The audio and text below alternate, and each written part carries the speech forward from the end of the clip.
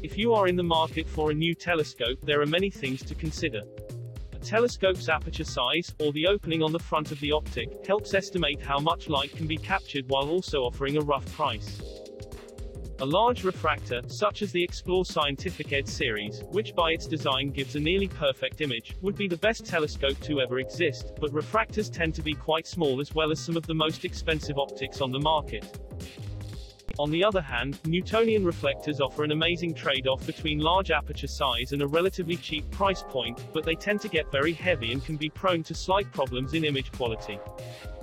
Most long-term amateur stargazers, and even some professional instruments such as the Hubble Space Telescope, utilize optics with a Cassegrain design which weighs significantly less than a Newtonian reflector while also maintaining a near-perfect quality image. Knowing the difference in designs will also help estimate a rough cost for your telescope.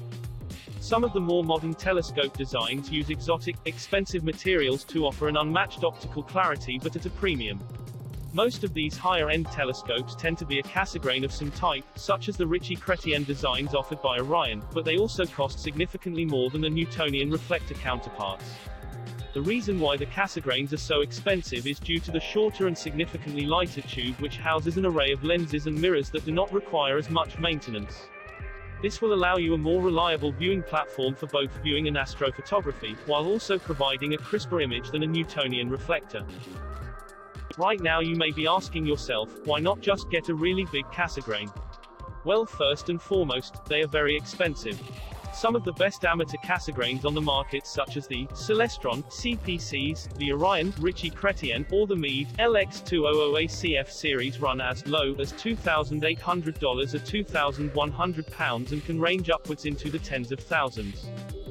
On the other hand a comparative Newtonian reflector such as the Celestron 127 or the 130 series or Orion's 130 and XT series run as low as $150 or about 100 pounds, with some of the largest computer-guided Newtonian reflectors running for a maximum price of about $3,500 or 2,600 pounds.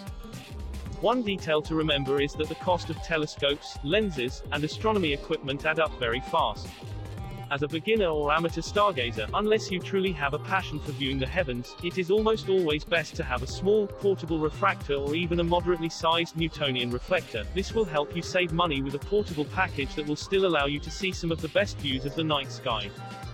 There are a few exceptions to every rule, but as an amateur stargazer you will find yourself limited by how heavy of a telescope you can physically move. This generally translates to maximum aperture size of 10 inches, or 250 millimeters, or even as high as 16 inches, or 400 millimeters if you have a group to help you set up. Knowing where you intend on stargazing is also just as important, for instance if you wanted a top-of-the-line telescope for both at home or on top of a mountain, then a Maksutov Cassegrain, which is innately more durable than any other telescope, such as the Meade ETX80, will be your best bet. Another option for a beginner that is just as capable as a backpacker's exploration scope would be the Orion Observer 60mm, which costs a mere $75, or 55 pounds. There are bigger and better refractors on the market but they tend to get expensive very quickly, for instance the Orion Eon 130mm ED triplet which costs roughly $2,300 or £1,700 is easily one of the best optics on the market, but is also over 30 times more expensive than the 60mm observer. Remember, in almost every instance, the largest aperture will always pull in the most light, which in most cases translates to more details. Also, unless you are a dedicated astronomer, you will most likely be moving your telescope in and out of your house every night, meaning that you might struggle if you have a 30-pound 10-inch, or 14-kilogram 250mm, Newtonian reflector. Secondly, optical clarity almost always coincides with price, as some of the coatings and other materials required to make the telescope cost more.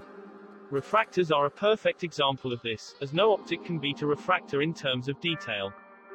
Third, you need a proper mount. A simple tripod or even Dobsonian platform will work just fine for most viewing but it can be nearly impossible to manually find an object, let alone track it, as it moves across the sky.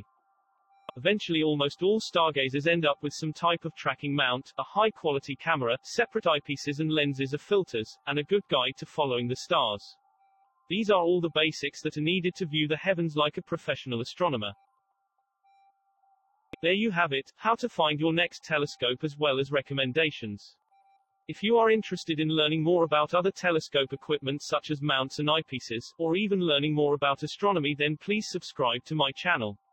Also, if you have any suggestions or comments let me know in the comments section down below.